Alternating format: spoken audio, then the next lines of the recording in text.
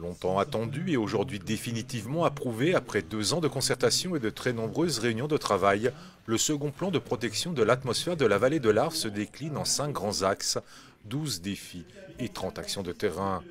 Complexe, volontaire, responsable et évolutif, ce plan de protection valable pour les cinq ans à venir a pour objectif de réduire drastiquement les concentrations de particules fines et les différentes sources polluantes au dioxyde d'azote et autres contaminants chimiques transportés par les poussières.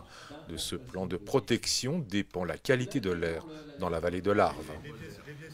Il y a beaucoup de mesures. Euh, c'est vrai que je pense que l'idée forte, c'est que c'est un tout et qu'on ne peut vraiment traiter durablement la qualité de l'air que si on agit sur les différents leviers d'émission des pollutions.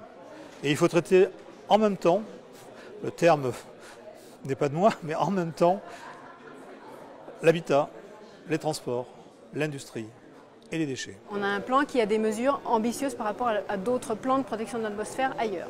Mais vraiment, tout sera dans, tout se jouera maintenant dans les cinq prochaines années, comment est-ce qu'il va être euh, mis en place? Tout est à faire et, euh, pour, qu'on arrive aux objectifs qui ont été fixés. Sur les objectifs, on est satisfait, puisqu'on on demandait que ce soit les normes de l'OMS qui soient prises en compte, et c'est effectivement ça qui a été pris en compte. Tous les objectifs à atteindre sont clairement précisés dans ce plan de protection. Ils doivent à l'horizon 2023 réduire les concentrations annuelles moyennes de particules fines de 30%, ce qui permettrait d'éviter 45 décès par an. Il est financé celui-ci. Certains sont établis sans avoir financement.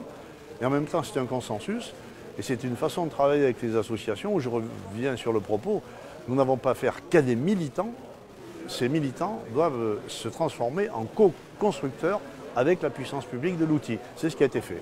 Pragmatique, mais, mais, confiant euh, dans la, connaissance maintenant euh, des, problèmes et dans la, capacité à les résoudre à un horizon temporel court. C'est ça dont nos administrés ont besoin, c'est d'être euh, non seulement rassurés, mais en tout cas d'avoir un air de qualité d'un bout à l'autre de la vallée de l'Arve. Donc je pense que c'est possible et qu'on a toutes les cartes, en tout cas, pour y parvenir.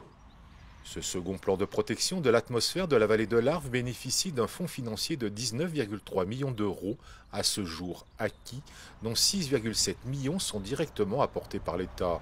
Chacun doit maintenant se sentir acteur de la reconquête de la qualité de l'air avec pour objectif un air propre dans la haute et basse vallée de l'Arve.